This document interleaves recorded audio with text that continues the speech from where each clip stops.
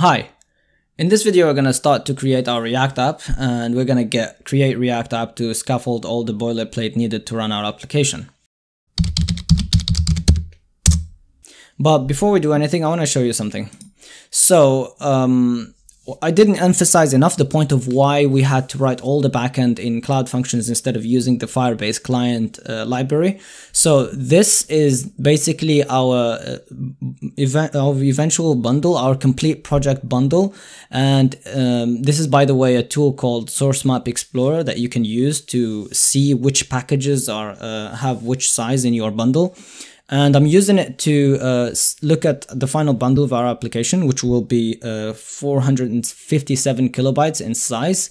And as you see here, Material, Material UI has 171 kilobytes from that, and the rest are all necessary stuff that we need. So this is the bare minimum that you we can use to actually have the full functionality of our application uh, work properly.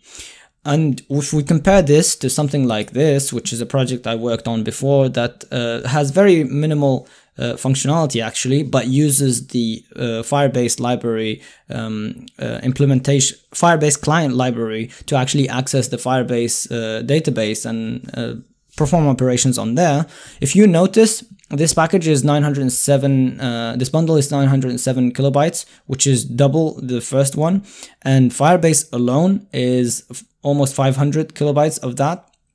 And stuff like React, uh, Redux Firebase is 60 kilobytes. So you see how using Firebase on the client can inflate the size of the bundle by a lot. And this is important for many, many reasons, of which uh, you can use services that charge you with uh, by bandwidth, like a most notably AWS um, S3.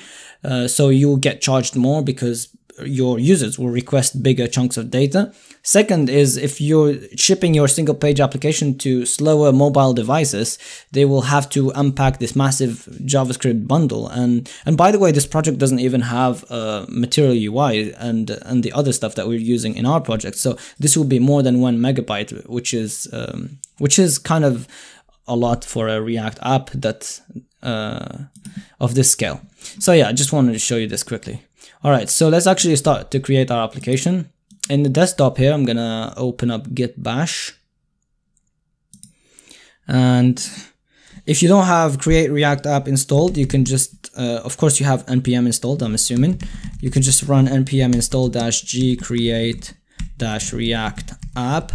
I already have it, so I can just run create react app and then the name of the directory will be uh, social ape dash client. Now this is gonna take some time, so I'll be back once it's done. Alright, now that it's done installing, we can cd into it. So cd social ape dash, uh, what do we call it? Client, yeah. Okay, let me open it in VS Code by running code dot. Alright, so create React app comes, uh, ships a uh, a Webpack development server that's already configured for us. So we can just run npm start and it will start our app. Actually, let me open it up here. All right, so this is our app right now. Nothing fancy. Let's clean up the um, the stuff. We don't need this logo, so we can just delete the logo. So let's delete this. Actually, I need this font family uh, thing from here. I'm just gonna delete this file. Let's go to app CSS. Let's delete everything. But here I wanna keep that font uh, family thing just in case the user doesn't have the Roboto font, which is the main font that Material UI will use. So let's go to index.css uh, JS and remove index.css from it. Let's go to our app.js, remove that logo because we deleted it and here I'm just gonna say I'm just gonna have a header one that says our app. All right let's save all files. All right cool our app. Let's um, I want to change the icon here and change the name of the app. Uh, I already have the icon downloaded but I'll post a link uh, to this in the description So if you go to our app public, we paste it there and we delete this uh, favorite icon thing. And let's go to public index.html and change fav icon to icon.png or whatever you named it. I named it that. And change the title here to social ape. Let's save. Let's go back and everything's changed. Cool. All right, so here in the source folder, there are a couple of conventions of, on how to group your components. I'm gonna have two folders, one that's called pages for the actual pages. We're not gonna have a lot of pages. It's gonna be like five of them. And here we're gonna have components. So I'm gonna put, I'm gonna create three pages for now. So home.js and the pages uh, I'm gonna have with lowercase, um, with camel case. I'm gonna they're gonna start with a lowercase uh, letter basically. So I'm gonna have home.js, login.js, and signup.js. All right, so here, because uh, remember guys, I'm using ES7 React Redux GraphQL React Native snippets extension. I'm just gonna, sorry for reading the whole name. I don't know why I did that. just gonna do RCE. So this is a class-based component and it's already exported for us and here I'm gonna have a header one that says home page. And let's copy the whole thing go to login and change this to control D control D and do login. And then paste here and then do control D control D login or lowercase login. Oops no this is sign up. What am I doing? Sign up.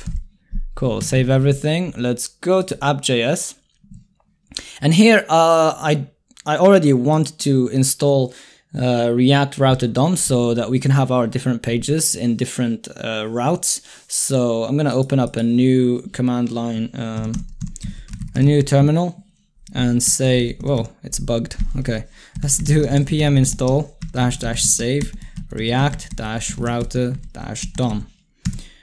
Let's hit enter. And while that installs, let me create a component here. The good old navbar. Can't have a website without a navbar, can you? Alright, so do RCE here, even though we're not going to use it yet. And here in the home, or in the app rather, let me close the index.html, the app CSS, the index CSS, we don't need these. So here in the app, uh, okay, that's done installing. Let's import a couple of things from um, from React Router DOM. So we have browser router, we have oh, router, we have switch and route. Well, my OCD is telling me to sort them alphabetically. so these are from React router DOM, if I can spell correctly. All right. So for React Router DOM to work, or for the router to work, we have to wrap everything here in a router, um, in the router um, component. Actually, let me name it router because that makes more sense. So as browser router as router, and here I'm gonna put our routes, but we're gonna need to put a switch, not not the JavaScript switch, but the component switch. Close this and then put our routes here. So the first route will be the home route and this will be to, not two, sorry, path equals slash and this will have a component which we haven't brought up yet, brought in yet of home. So this is the home page and let's bring them. Let's say here pages and let's bring our pages. So import home from slash pages slash home. Let me copy this two more times. And here select this control D and do login and sign up. And actually this will be exact. So it will be exactly this path. So if we add something here, it's not it's not that path. Let me copy this spaced it two more times and this will be to slash login the component will be login and this will be to slash sign up and the component will be sign up. All right, let's save everything and let's see if this is working. So we get a home page here and if we type slash we get home page again. Slash login should give us the login page and it does and slash sign up gives us the sign up page. Now obviously we want some sort of like navigation bar here with those links. We don't want to type them here each time.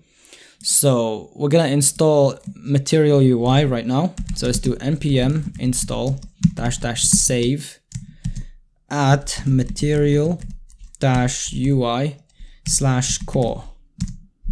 Now um, you can go to material material dash UI.com. They have really good documentation, and here you can go to actually getting started, and it will tell you to install it. And if you want to link it with um, through HTML, no, actually this is the font. And any component you want to use, you go to component API or component demos rather.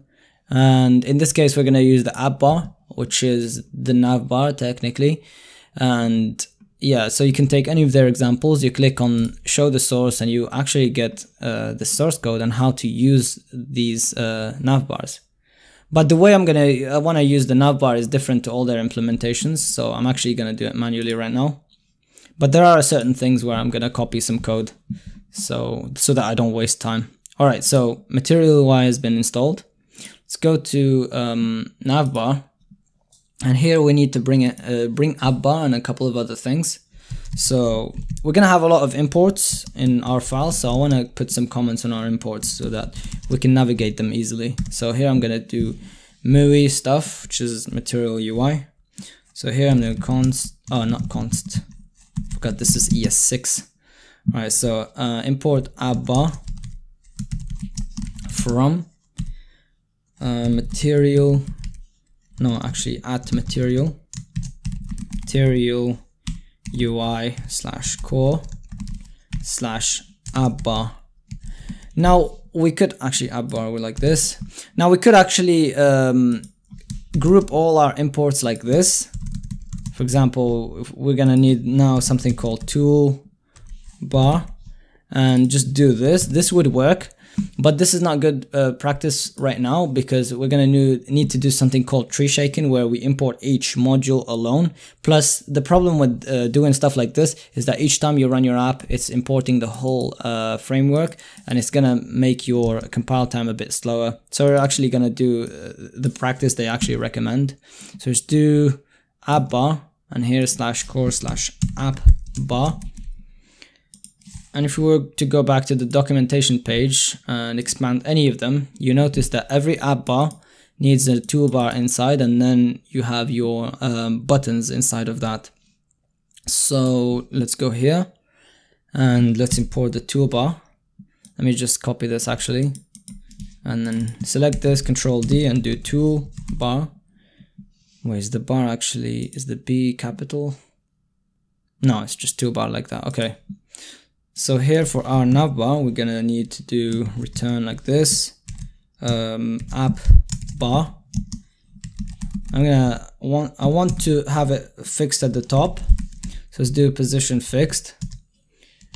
And by the way, if you're wondering how I know that there is this thing called position um, here, you can just on any on any element you could just scroll down and you will see the API reference, or you can go to component API and pick your component and if we would go to app bar here, it will show us that these are all the properties that this component can take and the values that they take. So I'm using right now position and uh, these are the values you can have.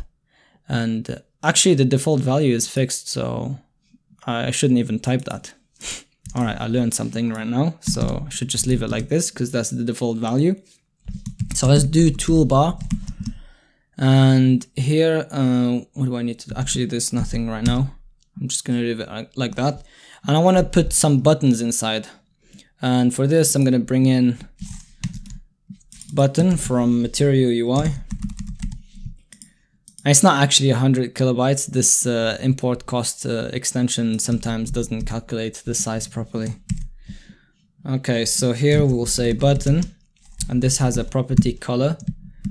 Um, I'm gonna do in I'm gonna give it inherit.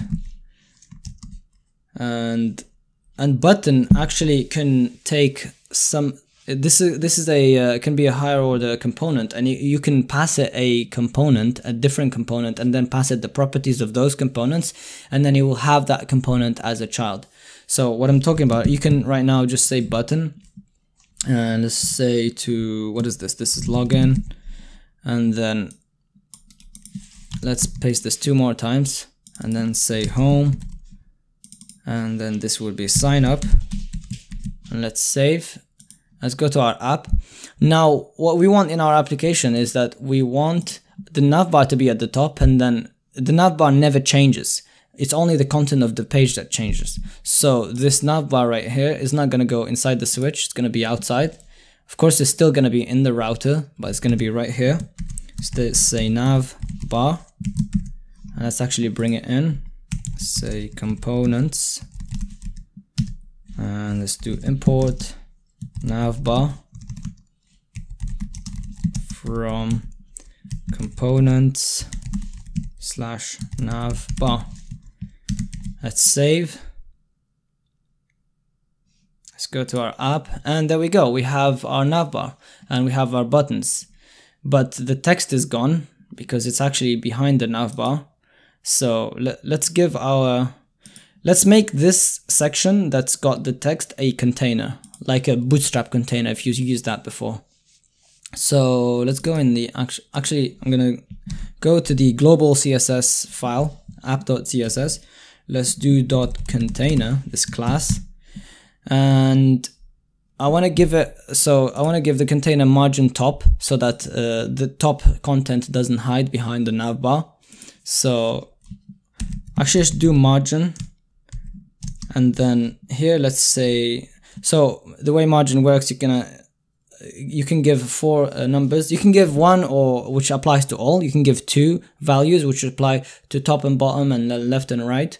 And then you can give four. So the first one would be top and then goes clockwise, right, bottom, and then left. So here I'm gonna do 80 for top, not 20, 80. And then for um, for right, I'm gonna give it auto for bottom, I'm gonna give it zero, and then for left, I'm gonna give it auto so that it, it actually stays in the middle by giving it auto.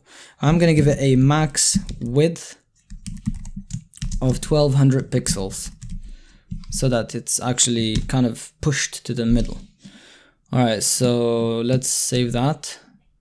But we need to give this class to something. I think what do I surround with? Do I surround? I think I'm gonna surround the whole thing. So let's copy the uh, cut that and then do dot container and then put our stuff here. Let's look here. All right, cool. Actually, the navbar shouldn't be in the container. So the navbar should be outside, like this. All right, uh, but our buttons right now don't do anything. So Let's go to the navbar here. Like I said earlier, we can pass it a component, and here we need the uh, the link component from React Router DOM. Can do import link from React dash DOM, and here we're using tree shaken as well, so we're importing only that component. So here, let's take the link.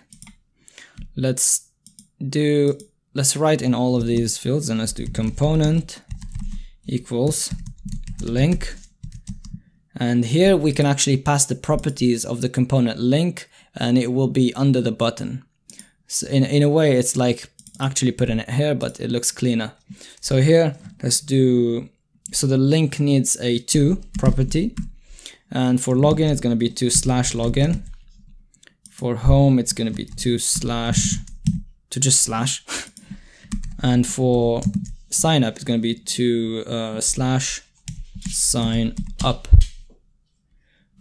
So we save and then we go to our app and there we go. So if we click on our buttons, it actually takes us to those pages. Cool. Let's bring these buttons to the middle. Um, how do we, let's give this toolbar a class name of uh, nav dash container. And let's go to our CS, uh, CSS, app CSS and do nav dash uh, container. And we're just gonna have margin auto. Let's save save everything let's go and there we go. Our buttons are in the middle. Cool. Uh, I'm gonna keep this video short so uh, I'm gonna finish here and then in the next video I'm gonna start to set up the actual theme. I don't want to use this basic um, blue. I want to change the color to something I want. So we're gonna use uh, themes and we're gonna actually have some markup in our pages. So look forward to that. Thank you for watching and I'll see you in the next one. Bye